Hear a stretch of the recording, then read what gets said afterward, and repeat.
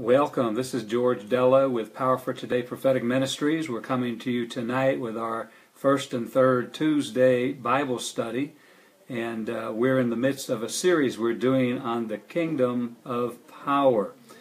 And uh, before we get started tonight, we want to have a word of prayer and uh, ask God to to uh, open the Word to our understanding and give us revelation, because we seriously need God to uh, uh, really begin to move in the body of Christ and uh, give us an understanding of this great salvation is given to us because it seems like the further we get away uh, from the first century church, the, the less we're looking like it.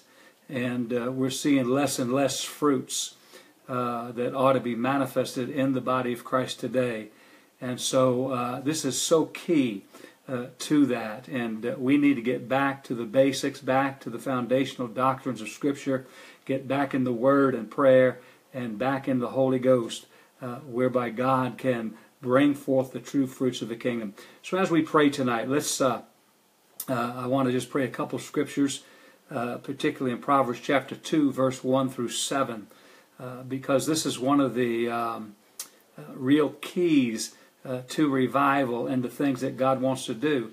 And that is uh, imparting that love for God's Word back into our heart. We will really uh, be a generation that seeks God through His Word and prayer uh, so that uh, uh, that Word can change us. So let's pray right now. Father, in the name of Jesus Christ, as we, we come together tonight, we just ask that your Holy Spirit be with us to lead us and guide us into all truth, to teach us and uh, produce the fruits of, of your kingdom in our lives uh, through the Word and the Spirit.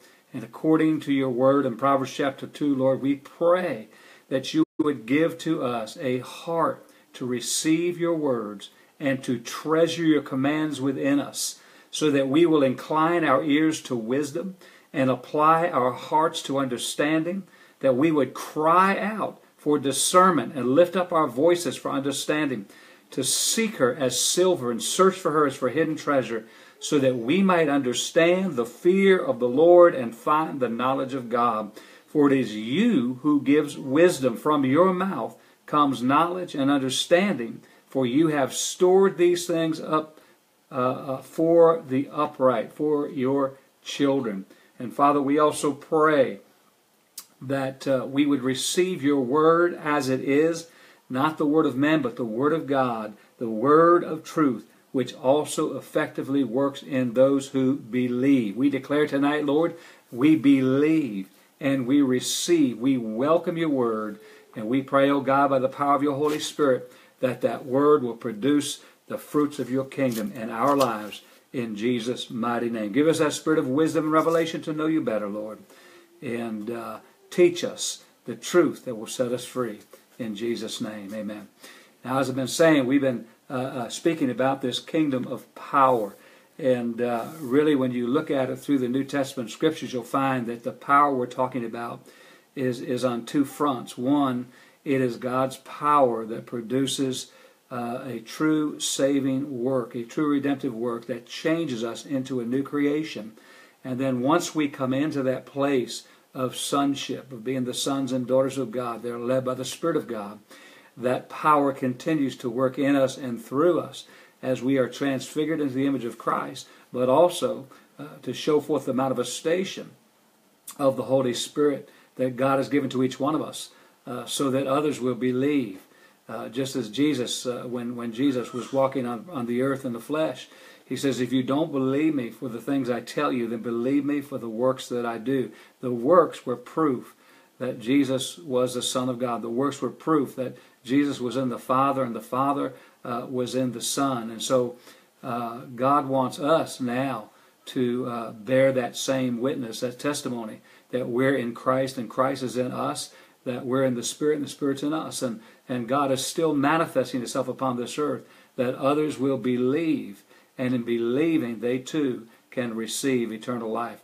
Now in 1 Corinthians chapter 2 verse 4 and 5, uh, Paul said this. He says, And my speech and my preaching were not with persuasive words of human wisdom, but in demonstration of the Spirit and of power, that your faith should not be in the wisdom of man, but in the power of God.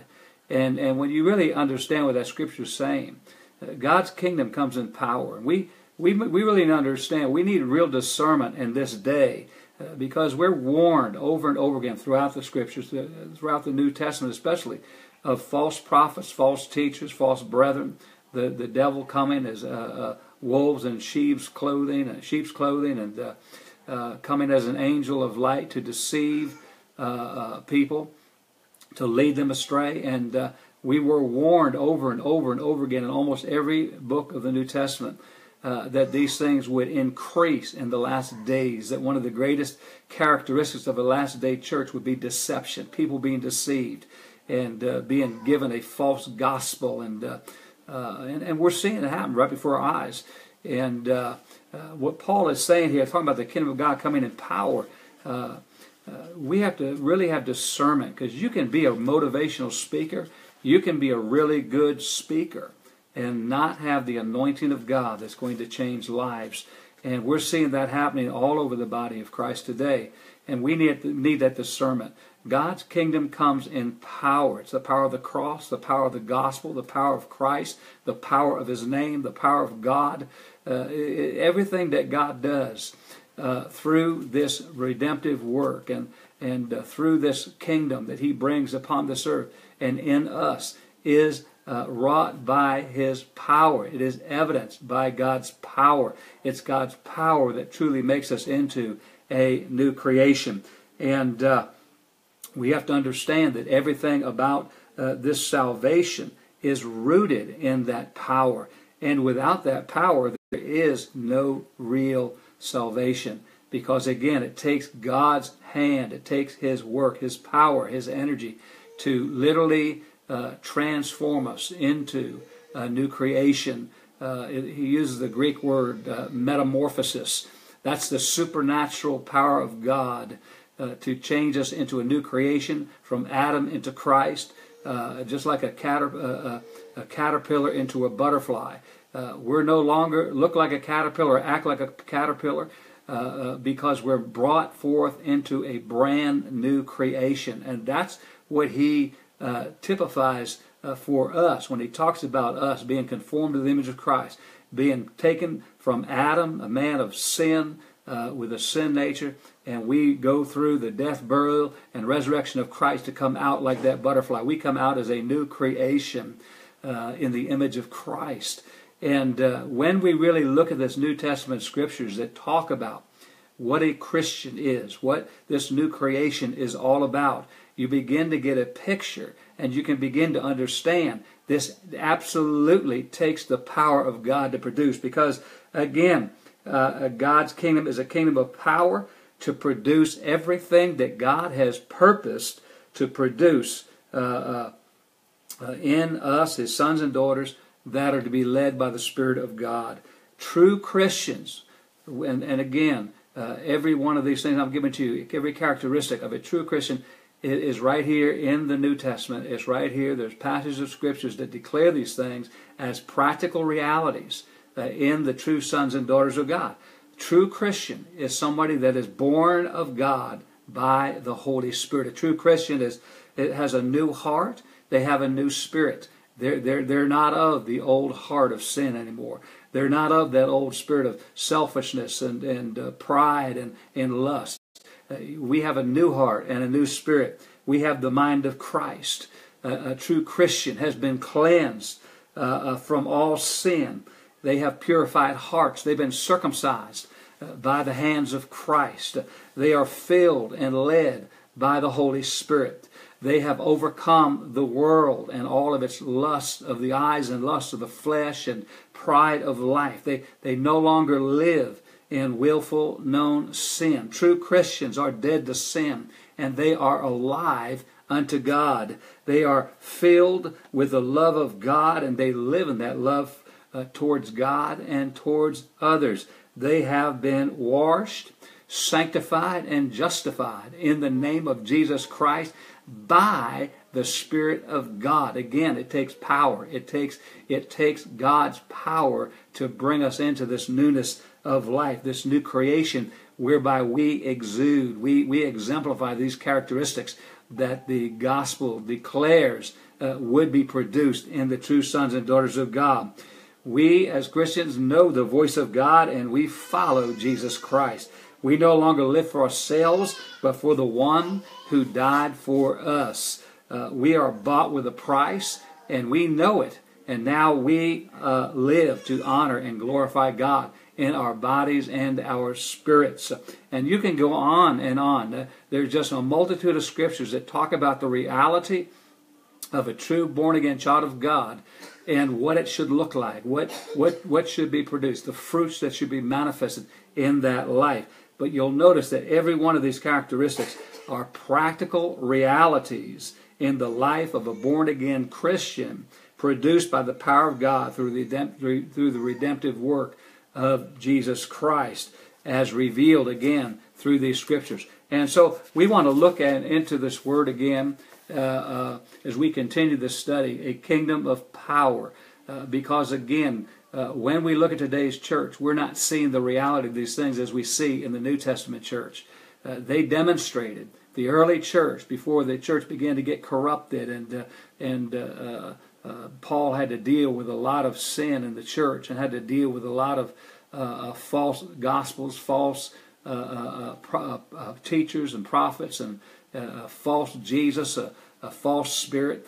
he had to deal with a lot of things that started to get into the church uh, after the first uh, few uh, decades of the church operating. But when you look at the first church, look at the early church, they showed forth, they manifested the reality of all of these practical things that were worked in their lives from the very uh, moment that they were born again, that the Spirit of God came and redeemed them by the blood of a lamb and changed them into this new creation. And that's why when you look at that church, that's what it talks about. They continued in the things of God. They lived in the Word. They lived in prayer, in worship. Uh, they, they were out making disciples. They lived in fellowship. They revealed the love for the, of, of, of Christ in their hearts for God. They loved. They showed forth their love towards one another, even selling what they had to make sure there was no need in the body of Christ. You could go on and on and on.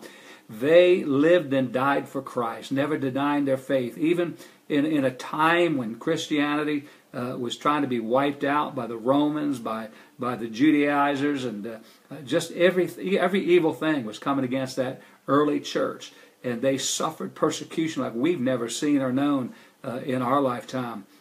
They were martyred for their faith, but they never denied Jesus Christ because they experienced this work in a real and practical way. They were truly made into a new creation. They lived it out. They walked it out, and uh, uh, they gave evidence. Uh, uh, they showed forth the, the, fruits of a true born again disciple of Jesus. And uh, we need to get back to that. We need to restore the foundations of righteousness and justice. We need to go back to the good old ways. Uh, uh, coming to, to Jesus Christ in surrender through the cross of Christ by the blood of a lamb and receive the full redemptive work. Now, we've been looking at these scriptures to, to see uh, uh, God's calling to every one of us to be the disciples of Jesus, that we are to come the same way that Jesus came through the cross, through our death, burial, and resurrection, through the denial of ourselves, through taking up that cross to follow Him, through, through our, our devotion and consecration, purification, sanctification. Uh, we are to walk as Jesus walked, free from the power of sin, free from a, a life of willful sin. And as we look through these scriptures, I, I just want to really emphasize the practical reality of all of these things we're talking about. That every scripture that we look at is talking about a practical reality, not just some uh, some facade. That's called hypocrisy. One thing Jesus didn't put up with. I mean, you know, he he ministered to sinners and he forgave them. He said, Go and sin no more. But when it came to hypocrites, Jesus, uh, I mean, he blasted them. He, he got on those Pharisees and Sadducees. He called them whitewashed tombs. He says, outwardly you look good. You, you got, you know, you got a form of godliness. You, you look righteous outside, but inside you're full of hypocrisy. You're full of uncleanness, like dead men's bones. And, and uh, he just rebuked them. And uh, one of the things Jesus said, hypocrites will not enter the kingdom of God. Why? Because the work that Jesus did on that cross is supposed to produce a real and practical work in every one of God's children that by faith come to Him in repentance and faith and receive the redemptive work of Christ, that there would not be hypocrisy, it would be reality. Uh, rooted again in the power of God, the power of that blood, the power of the cross, the power of the gospel. Uh, it would actually produce that work in us. And uh, that's what we're looking at. And that's what we really need to get back to because, again, so many in the body of Christ today do not believe uh, in that practical reality. And we're just like Paul talks about in 2 Timothy chapter 3, uh, when he was talking about the last day church. He said, In the last days, dangerous times will come. Why? Because many, many, many in the body of Christ will have a form of godliness, but they deny the power of God to produce that godliness. And that's exactly what we're seeing today.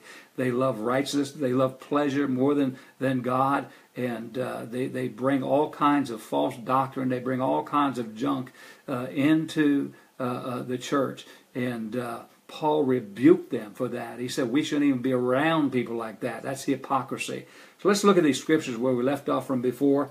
In John chapter 12, verse 23 through 26, Jesus said this he answered them, saying, The hour has come that the Son of Man should be glorified. Most assuredly, I say to you, unless a grain of wheat falls into the ground and dies, it remains alone. But if it dies, it produces much grain. Now, Jesus was, was literally talking about his own death. Uh, through his death, that he was able to produce much grain, much fruit. And uh, in John uh, he talks about this same thing. Uh, that that the purpose, one of the purposes of his death, uh, was to to uh, bring many brethren, many people in his own image, in his own likeness, that would carry on the work that he was doing. Because Jesus, when he was in the flesh, could only be in one place at a time. He could only minister to to uh, uh, small areas, small groups of people, whatever. he didn't have the capability of being everywhere at all times and, and reach everybody uh, because of his physical body. But through his death, burial, and resurrection, he could reproduce himself in others. And that's exactly why he died, exactly what he came to do to produce his image in us, so that instead of just him and his physical body being able to go here and there and reach a very limited number of people, he could reproduce himself in his church, in us individually. And by doing so, uh, he could be everywhere in this world and reach the entire world to carry on the Father's will, to seek and save that which is lost, to be that witness, to make disciples of all peoples, all nations, everywhere. And, and that's what he came to do. And uh, again, uh, he calls us to go through that same process so that we can reproduce Christ in others also. We are to go through that same, uh, uh, Jesus says, uh, unless a grain of wheat falls in the ground, it dies, it remains alone. We too must die with Christ. That's part of that redemptive process that we are crucified with Christ, that we no longer live, but Christ lives in us.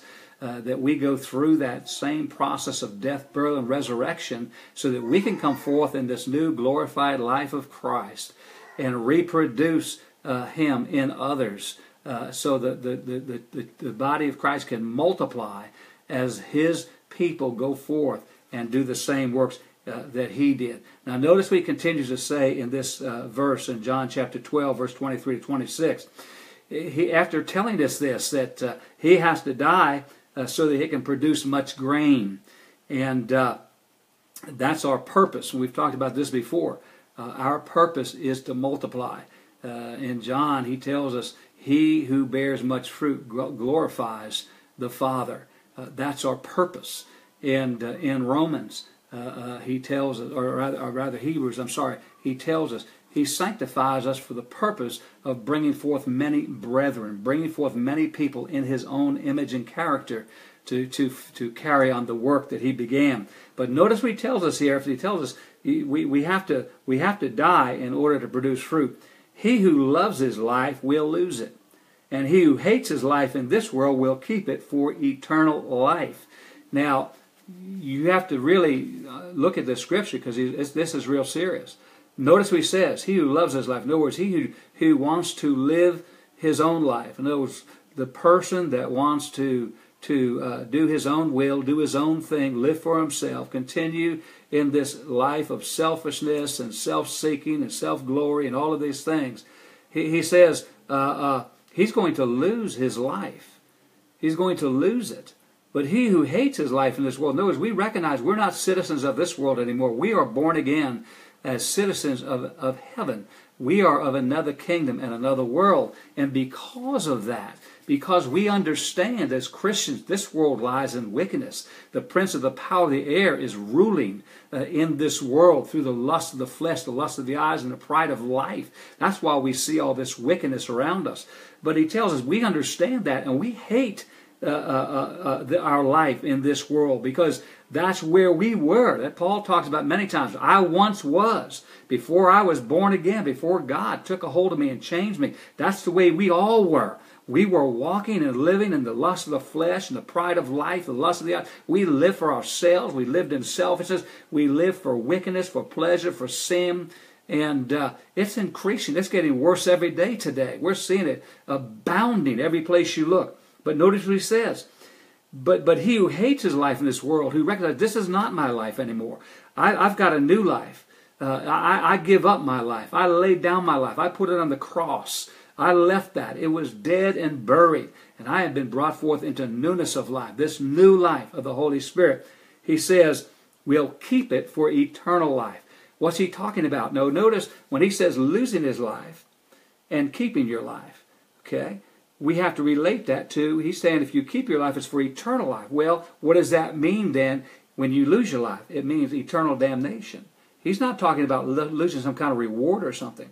He says if we're going to to uh, uh, uh, love our life and live for ourselves, uh, we're going to lose eternal life. We're not going to have that eternal life. We will not uh, attain to the kingdom of God because to attain to the kingdom of God means uh, that God's redemptive work is, has brought us into this new life and we live for God now. We we have different way of thinking, a different way of doing and acting, and everything about us is new. The old is gone and the new has come in a practical and real way. So he says, if anyone serves me, let him follow me. You see, Jesus is the head. He's he's the preeminent one. You can't serve him unless you're going to follow him. Amen. And to follow him, you have to listen to his voice. He says, My sheep hear my voice and they follow me. Uh, that means we live in an abiding relationship with Him. We live in this intimacy with Him. We listen to His voice. We obey Him. We do what He says. To follow Him means that you obey Him, that you do the things He commands us to do. And, and what did Jesus come to do? He came to seek and save that which lost. He came to fulfill the will of the Father. He's calling us to that same practical reality. We're to walk just as Jesus walked. We're to do as Jesus did. Uh, that's what he came to produce in us through his redemptive work. And he says, Where I am, there my servant will be also. So whatever Jesus is doing, where is Jesus? He goes into the fields of harvest. He goes out to make disciples. He goes out to, to reach the lost. He goes out to heal the sick, to drive out demons, to preach the gospel, to teach, uh, uh, to minister to the poor. We're to be doing the same things. Why? Because he's supposed to have produced himself in us given us that same heart, that new heart, that new spirit to do the same things that he did, and even greater works because now uh, there's so many more of us. He says, If anyone serves me, my Father will honor. If anyone serves me, him my Father will honor. Uh, uh, because again, uh, we are to we, we live to do the will of the Father. We exist to fulfill His will. And uh, that's serious. That's very serious. In fact, if you go back to Matthew chapter 7, verse 21, notice what Jesus said. Many will say in, the, in that day, Lord, Lord. And uh, Jesus is going to say, I don't know you. And the reason that he gives that he doesn't know you, the reason that he gives that uh, we can say, Lord, Lord, all we want. We can even do the works of the ministry. But he says, I don't know you. And the reason is uh, because we have not done the will of the Father, and He calls us lawless. He says you're lawless. You are not walking under the headship of Christ. You're not living under the authority of Him who you claim to be your Lord. Like Jesus said in Luke 6 46, why do you call me Lord, Lord, and do not the things I say do? That, that just doesn't make sense. I'm not your Lord if you won't obey me. Uh, and so, again, but we need to see the reality of this that everything he's talking about is supposed to be a reality. It should be something that is practically produced in every child of God by the power of God when he redeems you. So in Ephesians chapter 5, verse 25 through 27, notice what Jesus says. And, and he says, Husbands, love your wives just as Christ also loved the church and gave himself for her. Now, right here, we see the whole purpose of the cross of Jesus Christ, the whole purpose of his death, the whole purpose of Jesus willingly come to fulfill the will of God, to die on the cross. Notice what he says. This was the purpose of the cross, that he might sanctify. That word sanctify means to make holy. That he might make holy, having washed her with the washing of water by the word, that he might present her to himself. Talking about the church. Jesus died on the cross for this purpose, to make us holy. Now, notice what he says that he might present us, the church, to himself, a glorious church, not having spot or wrinkle or any such thing, but that she should be holy and without blemish. What's he saying?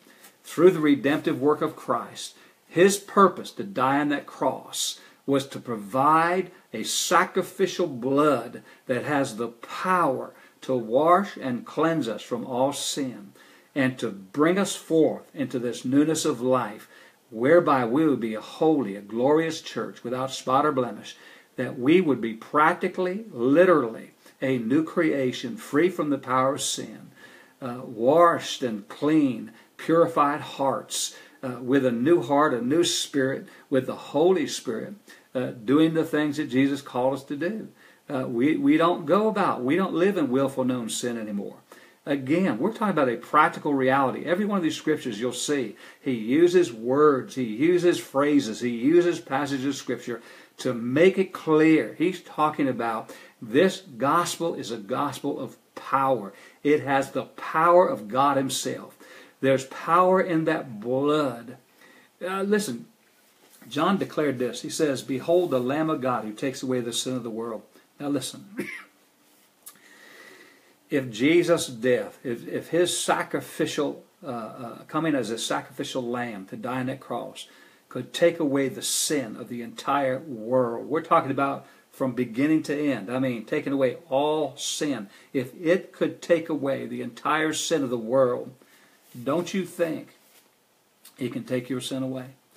Don't you think that it has enough power to take your sin away? That's what he's talking about. This is supposed to be a reality. That's why Jesus said you'll know them by their fruits. They're not going to look like that, that old man anymore. They're not going to act like that old man anymore. They're not going to be like that old man. Why? Because when Jesus takes your sin away, he makes you into a saint. He, he makes you holy. He makes you without spot or blemish. He, he makes you clean uh, and, and, and no more spots, no more wrinkles. Everything is made new. Okay? And what is the purpose? 1 Peter 2.21. Notice what Peter says. For to this you were called. This is your calling. This was the purpose of your salvation. Uh, because Christ suffered for us, leaving us an example that you should follow his steps. You should follow his steps, okay? And we looked at this also in 1 John 2 6. John says the same thing.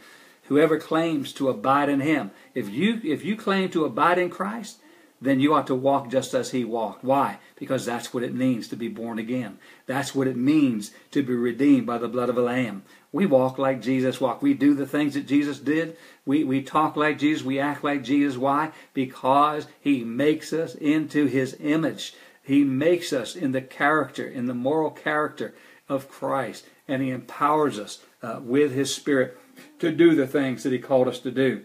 1 Peter 2.24, Peter tells us this, who himself bore our sins in his own body on the tree. Again, what was the purpose of the cross? What was the purpose of the death of Jesus Christ on that cross? Okay? It was to do what? To bear our sins. In other words, to take our sins away, to remove our sins. Why? What was the purpose of that? That we, having died to sins, okay, just like Jesus, we died to sins, might live for righteousness.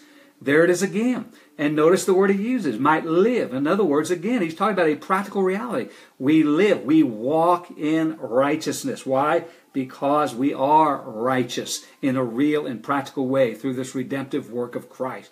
Every single uh, uh passage that talks about this redemptive work is talking about a redemptive work that produces a practical reality by the power of God. It's a kingdom of power. And that power is something we can't even comprehend uh, with these human minds. It is so great.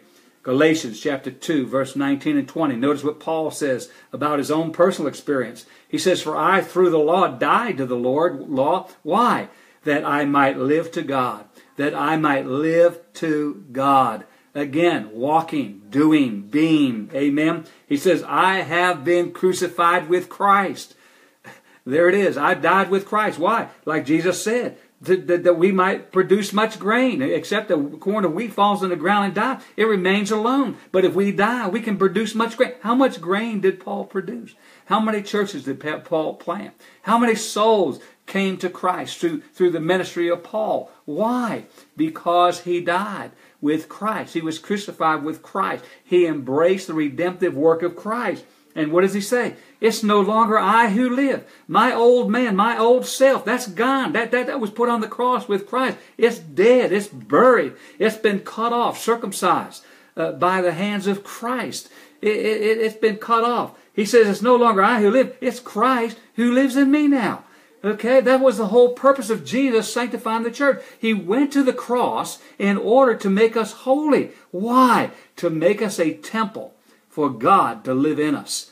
For Christ to come and live inside of us by His Spirit. Remember we talked about all those Old Testament saints, all those mighty men and women of God. We look at Abraham and, and Isaac and Jacob. You look at David and, and, and Samson. I mean, you go go through all the great men and women of God. Just read Hebrews chapter 11. But what was the problem? They couldn't, they, they couldn't receive the promise. They could not have God dwell inside of them. They couldn't receive the Holy Spirit inside of them to give them the promise of eternal life. Why? Because they didn't have the power the law was not able to make them holy. It didn't have the power to deal with the inward sin of man, to, to get down into the root, the root problem of that sin nature. It couldn't do that.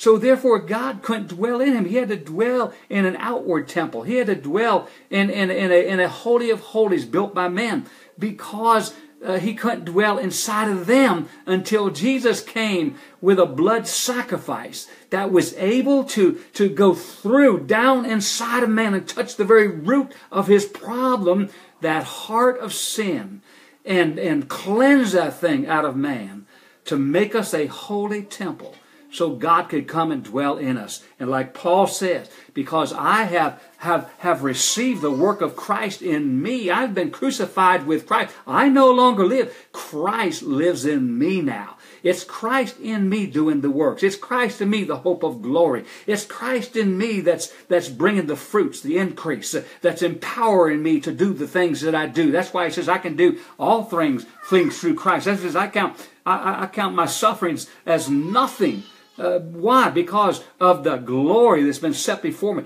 Everything about Paul was the understanding that, that his, he didn't live for himself anymore. He had the same mind of Christ. He had the same attitude of Christ. He, he lived, he existed. Everything he was about was doing the will of the Father through the power of Christ in him. He says, the life which I now live in the flesh, the life I now live, now that I've been redeemed, now that I've been changed into this new creation, the life I now live uh, in the flesh, I live by faith in the Son of God who loved me and gave himself for me. You know, we talked about in Hebrews, the just shall live by faith. The just shall live by faith. What are we living by faith about? What's it all about? We live by faith in the Son of God. We live every single day, every moment by faith of Jesus Christ. That's who our life is and thereby uh, our trust, our, our future, our hopes, our dreams, our strength, everything is in Him. We draw upon Him for everything we do in this life.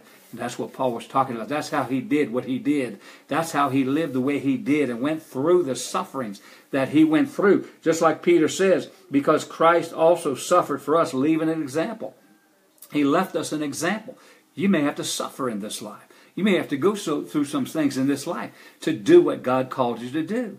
And that's what Paul was talking about. He suffered for Christ. You just read the letters that Paul talks about, and he suffered in every imaginable way you can think of. And uh, uh, again, but look at the fruits that he bore. Look at what he produced. Uh, uh Christ produced through him, through his life, uh, that was given up uh, he lost his life. He gave up this life. He, he didn't love this world. He, he loved the world that was to come. And he gave up his life in order that he might have eternal life. And that's what we're talking about. Again, notice the practical reality. Paul walked it out, he lived it. Not in his own strength, not because, you know, of what he did, because of Christ in him. And that's what I'm talking about. When we look at the church today and we look at the church in the first century, in, in the early days, the, the, the, the, the first church, you can see a big difference because we're not seeing the reality today that we see in the early church. And again, why? Because we have rejected this gospel of practical reality. We have we have accepted a form rather than the power. We, we have uh, uh, uh, rejected uh, the truth of the power of that blood to make us into new creation, to deliver us and cleanse us from all sin. Uh, many don't even don't even believe, don't even preach that anymore. Uh, you hear more and more preachers going by the experience of, of what's around them. They see so many professing believers living in sin. So they say that must be natural. That must be just the way it is. Well, when you look at the early church, uh, that was rebuked. That was totally rejected. That was a lie from the pit of hell. That was a, a false doctrine of demons. Because again, they understood this gospel, the power of this gospel to make us a practical reality, a new creation in Christ that walk in newness of life, that live newness of life, like Paul, that that uh, live a life in the flesh by faith in the Son of God, which empowered them to do whatever needed to be done and to live the way they needed to live to show forth the fruits uh, of this new creation in the name of Jesus in John chapter 8, verse 34. Notice what Jesus said. Jesus answered them, Most assuredly I say to you, whoever commits sin is a slave of sin. Now, he's not talking about a, you know one-time sin. He's not talking about uh, a, a mistake. He's not talking about you know doing something out of ignorance. He is talking about whoever commits sin, whoever lives in willful, known, habitual sin is a slave of sin. In other words, what he is saying is you are under the power of sin. Now you could you could also just say this: you're under the power of the prince of the power of the air, because uh, he is the one who controls the sons of disobedience. And you read that in Ephesians chapter two, uh, verse two. You'll see there that those people that are walking in the lust of their flesh, they are still like like uh, uh Peter. Uh, like John talked about, they refuse to give up their life. They want to live this life of the world. They want to live for the lust of the flesh, the, the lust of the eyes, and the pride of life. Uh, he tells us that the prince of the power of the air is working in them, and uh, uh they are under his power. And that's what he's talking about here. Uh, Jesus is saying, whoever is living uh, in habitual sin is a slave of sin. You are un- you are enslaved uh, to Satan. You are enslaved to the power of that sin. And he says this, a slave does not abide in the house forever. You will not, you will not be in the kingdom of God. You cannot, you cannot bring sin into the kingdom of God. Go, go read Revelation 21, 22. You will see there is nothing that defiles. There is no sin that's going to get into heaven. God gave man a free will. But when man brought sin into this creation, and he he contaminated, he he flooded this entire creation with sin, with impurity. God said that's not going to happen again. That will not happen to heaven. Uh, this this next this next stage of of this uh, eternal life in heaven with God will not be defiled by any sin. If you don't have your sin dealt with at the cross of Christ, uh, you're not getting into the kingdom of God. And and again, uh, you can read uh, uh, many, many, many, many scriptures that uh, uh, deal with that issue. But just go read Revelation 21 and 22, and you'll see very plainly in there Nothing that defiles, nothing that has not been washed in the blood of a lamb is going to get in to the kingdom of God. It's that simple. You will not defile that new kingdom. Uh, when everything's said and done, there's got, not going to be anything but righteousness uh, in heaven, in the kingdom of God. But look what Jesus says a slave does not abide in the house. If you're enslaved to sin, you cannot remain in the house of God. But a son abides forever. Who are the sons of God? In Romans chapter 8, the sons of God are those who are led by the Spirit of God. You don't live for yourself, you live for God. You're led by the Spirit of God. What does the Holy Spirit do? He does the will of the Father. Everything the Holy Spirit does is for and by and of and through the Father. It's the Father's will. He makes you to the praise of His glory. Uh, again, if you're truly being led by the Spirit of God, you are not living in sin. Let's put it that way. The Holy Ghost does not sin. Amen. But look what he says. Therefore, if the Son makes you free, makes you free from what? From the power of sin. If the Son makes you free, you shall be free indeed. What does that mean? You will be free practically forever, entirely, completely, indeed. There's no doubt about it. Whom the Son sets free is free indeed. Why? Because he came. Read it, Revelation chapter 1, verse 5. He came with his blood to do what? To take your sin away, to wash you of all sin and all of its defilement. He came, he shed his blood outside the camp to do what? To sanctify with his own blood, to make you holy with his own blood, meaning to purify your heart from that sin so that you are no longer a sinner, but you become the righteousness of God through Jesus Christ. And the life you now live with him, you live in this flesh, you live by faith in the Son of God to do the things that God has called you to do. And that's what it's all about. That's, that's what Jesus came to do. But again, the emphasis we're trying to get you to see, the emphasis with the church is so missing, is that this should be a practical reality in the life of every truly born again saint of God. And when you look at all the scriptures, line upon line, precept upon precept, that's why when, when I share the word, I share the word. I give you scripture after scripture after scripture. Why? Because you need to be like the Bereans. Don't go by what somebody tells you. You look it up for yourself. Ask the Holy Spirit to give you the revelation and uh, give you uh, the understanding and see for yourself. Amen. Because until the Father gives you the revelation, that word's not going to come flesh and produce something in you. It's like Jesus told uh, the disciples, you know, who do you say I am? And then Peter says, you are the Christ, the Son of the living God. And what did Jesus says, flesh and blood did not reveal this to you, but my Father who is in heaven. Only God can make, make known to you the reality, the truth that will set you free. And uh, that revelation, when it sets you free, it makes you into a new creation.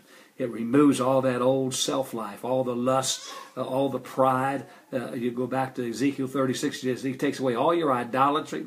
He removes all your transgression, all your filthiness. He washes everything away. He cuts out that stony heart of flesh. He removes that hardness of heart. He gives you a new heart, a new spirit.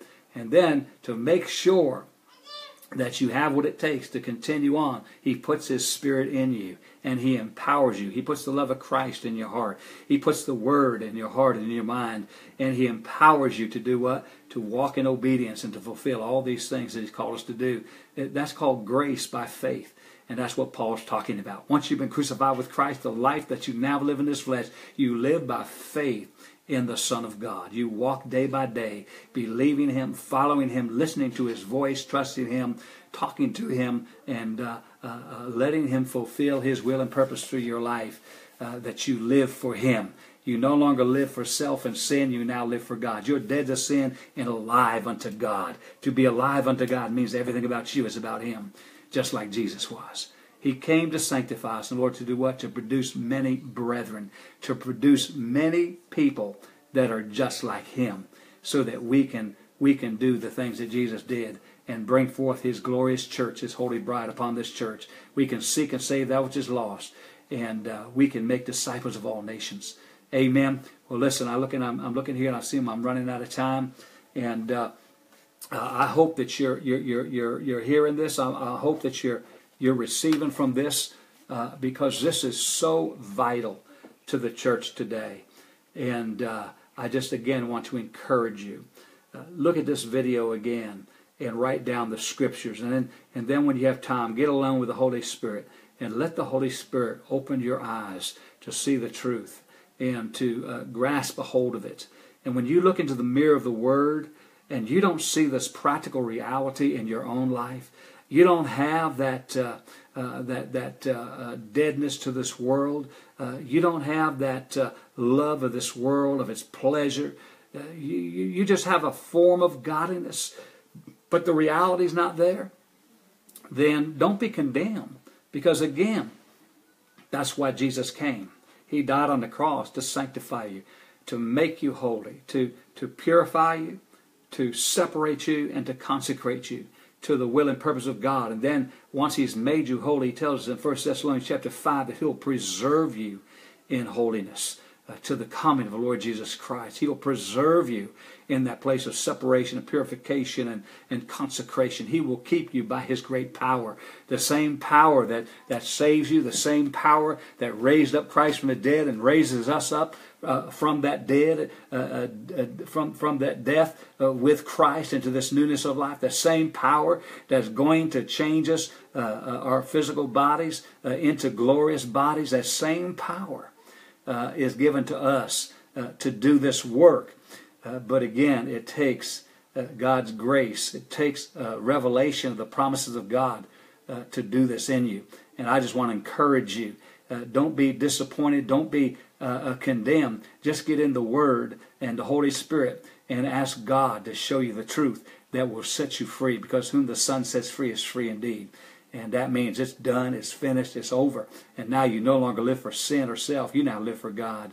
And uh, you will receive, like Jesus said, uh, you will receive what? Uh, uh the Father, the, uh, the Father will honor you.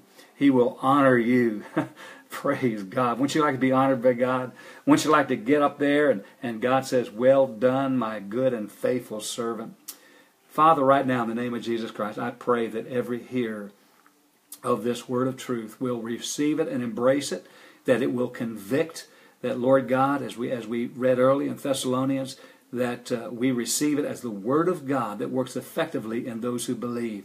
I pray, O oh God, that you circumcise every ear, put the salve upon every eye, and Lord God, bring the revelation to set your people free from the power of sin, that we will be dead to sin and alive unto you, that you will have a glorious church at the coming of Lord Jesus Christ, that he can present to himself a church without spot or wrinkle or any such thing, a church that is holy and blameless, watching and waiting for your coming, doing the things you've called us to do. God, I pray bring forth, bring the church back to the reality of the cross, back to the reality of this gospel of power, the reality of the power that's in that blood to make us into a new creation and to remove every spot and blemish of sin in the name of Jesus Christ. Wash us again, O God, and bring forth, restore the zeal, the passion, the fervency, restore the love for your word, for your true disciples, and bring forth a true church full of disciples, making known this glorious uh, salvation to everybody around us uh, before the coming of the Lord Jesus Christ. God, I thank you for it. I lift up those, Lord, that are suffering right now. In the name of Jesus Christ, I speak life and healing to every body, every mind. I bind the forces of darkness coming against anybody in the name of Jesus Christ. I cast down every demon in Jesus' name. I bind every spirit of infirmity, sickness, disease, death, and destruction coming against your people in Jesus' name. We break the yoke of the enemy. We declare life and healing. We thank you, Lord, you forgive all our sins and heal all our diseases, that by his stripes we are healed. That is the children's bread. It is our basic right as the children of God. And we declare, we proclaim Jehovah Rapha, the Lord your healer, over you right now. Be made whole in Jesus' name. Amen. Amen. This is George Delo, Power for Today Prophetic Ministries. I'm coming to you today from Latrobe, Pennsylvania. I'm out of town uh, from my home uh, to bring you the Word of God. We are going to be back on the third Tuesday of April, same time. You can join me on Facebook at 735 and uh, we're going to continue to proclaim the truth of this gospel of power. It is a kingdom of power. Everything about it is the power of God. And I want to encourage you tonight keep looking up because your redemption draws nigh. The Lord's coming soon. Make sure, make sure you're ready. We love you. We bless you.